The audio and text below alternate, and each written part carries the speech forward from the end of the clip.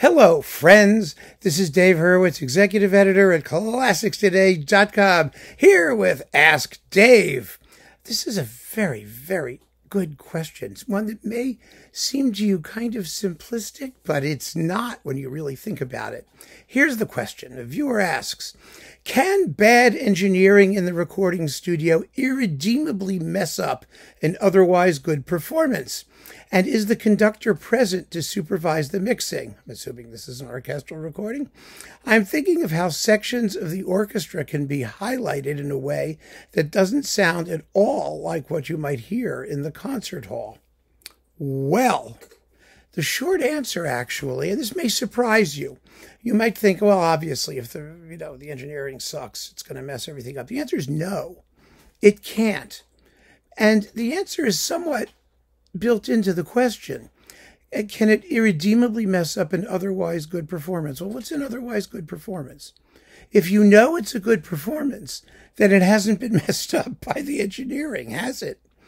I mean, it really hasn't. You may you may hate the way it sounds, but somehow you still understand that it's a good performance. I mean, question answered, right?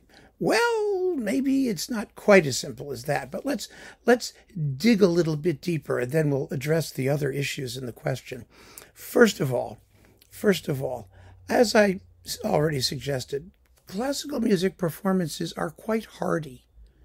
The question becomes, in the case of an orchestral recording, but we can broaden this to any other kind of recording as well, whether it's vocal or, or you know operatic or solo piano or whatever it is how much musical information do you require in order to determine if a performance is good or not? The evidence seems to be, based on my own experience, very little. Um, it, it's kind of interesting when you think about it because let's forget for a moment we're dealing with an issue of ideal sonics in, under studio conditions versus horrible sonics under studio conditions. People listen to all kinds of recordings made under all kinds of conditions. And I'm particularly thinking of, first of all, historical recordings, which are awful by by modern standards. You know, 78, things like that. People listen to them all the time. Furtwängler recordings that sound like hell.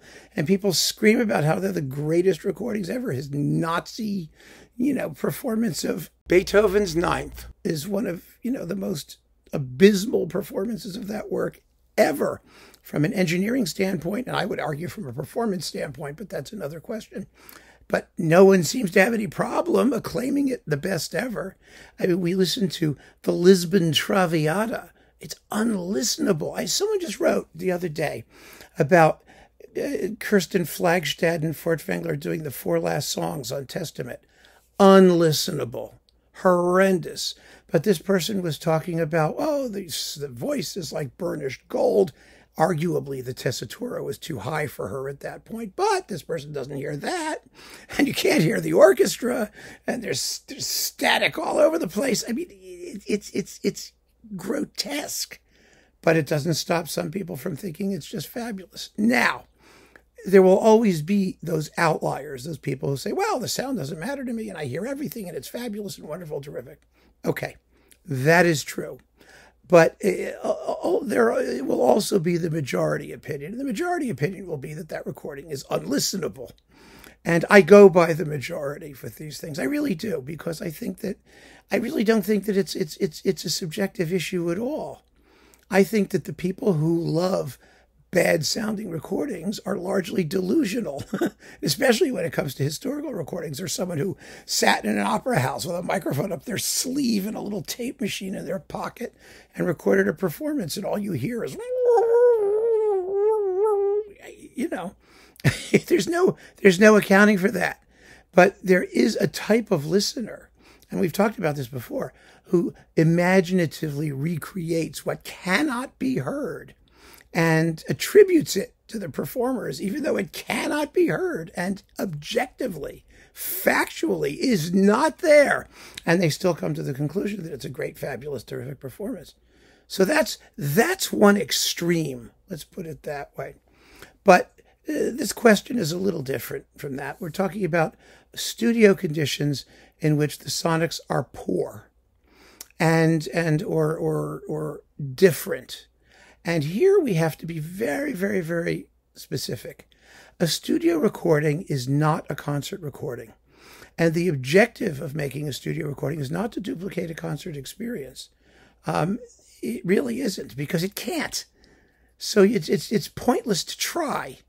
Um, it's only a question of how satisfying the musical experience is, all by itself in its own right. Let me give you another an, another example of this. I, I, when I moved into my new place here, um, I, I, hired a guy who does sound systems um, to help me with my with my equipment because the actual house came with a surround system in the living room that I had nothing to do with, and and I had to get my I needed a new amp, and I needed we needed things fixed up. So so so he helped me get all my equipment together, and I was playing some samples of music for him. And one of the things I selected was the Pines of Rome.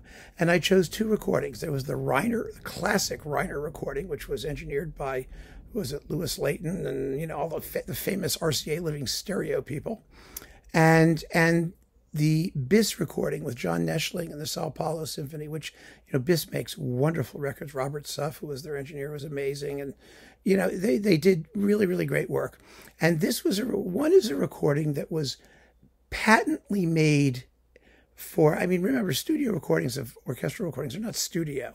Usually they're not in a studio; they're in a concert hall. So it's a concert hall recording.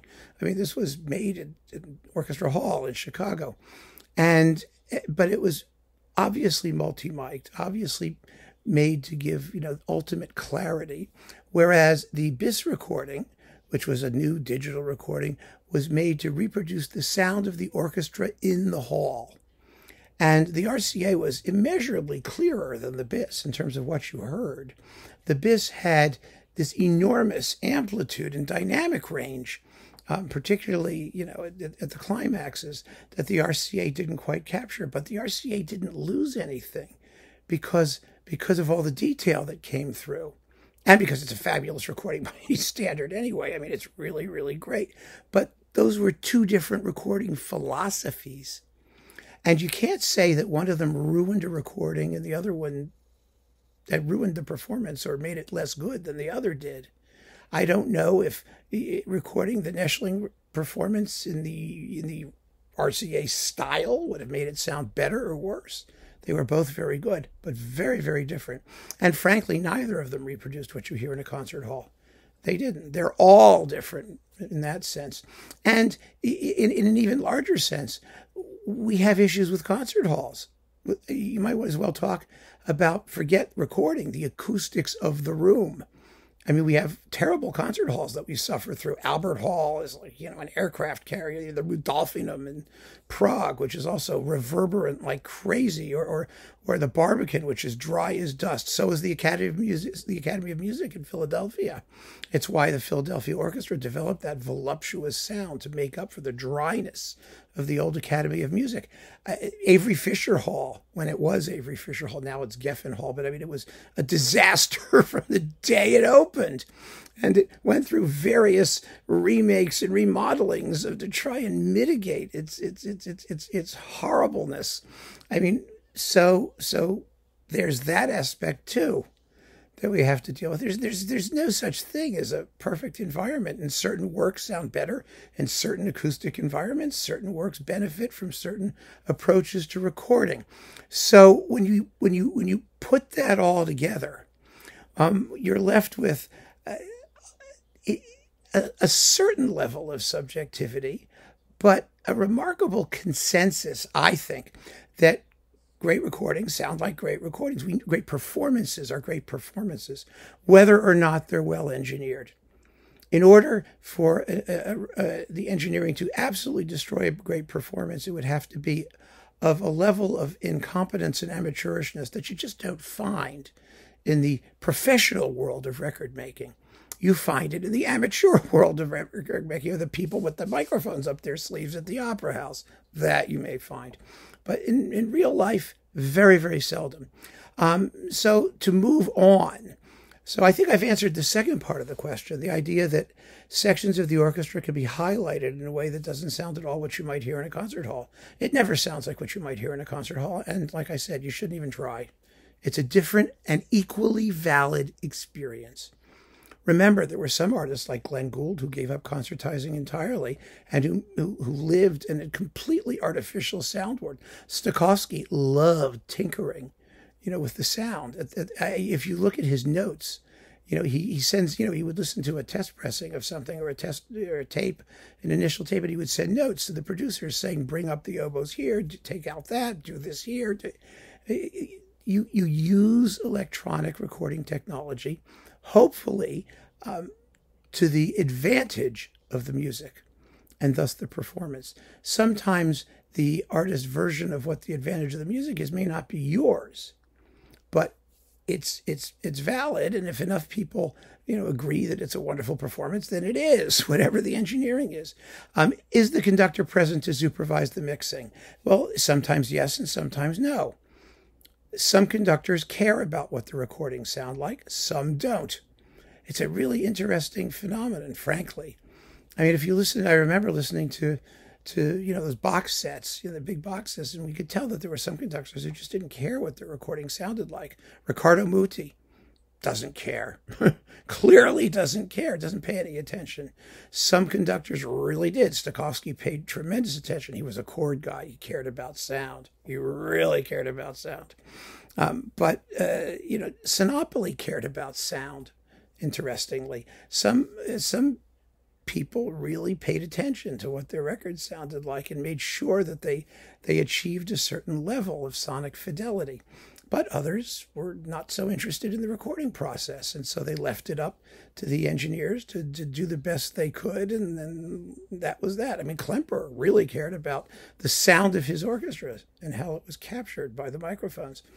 I, I, I it all depends there are no rules. There are no rules whatsoever when it comes to these things, but there is definitely, um, I think it is definitely a fact that you can listen to a performance independently of its engineering and separate the two um, in your listening experience and be frustrated and be frustrated. Someone wrote uh, just just today or the other day about Beethoven piano sonatas and said, "Well, you know, okay, Igor Levit's really good, but I hate the sound. It's as if you're in the back of the hall and I can't stand it.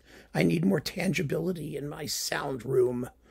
Okay, that doesn't mean it's a bad performance. It means you hate the sound, and and some people love the sound. Others, you know, Igor Levit probably loved the sound. So you know, it's it's it's. Uh, the quality of the performance in general, as I'm saying, um, and I'll stop repeating myself now, comes through in a professional recording setting. Whether or not everyone agrees that it's good recording or bad recording or good sound or bad sound, you can really, you can usually tell. Um, and that is a separate issue from those poor deluded souls who are making things up because the sound is so bad that you can't hear anything. And they're adding the things in their brains that are not available um, on the actual in the actual sonic medium that has been preserved. We have to set that aside in order to have a sensible discussion about this. So I hope that answers your question. Take heart. You may hate the engineering, but you'll hear the performance. I'm sure of that. Keep on listening, friends. Thanks so much for joining me. Take care.